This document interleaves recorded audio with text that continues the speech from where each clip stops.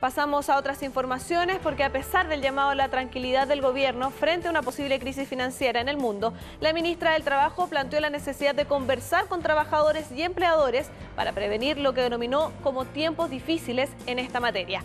El ministro de Economía, Pablo Longueira, reaccionó asegurando que Chile está muy lejos de vivir una crisis como los países desarrollados. Escuchemos las declaraciones de la ministra del Trabajo.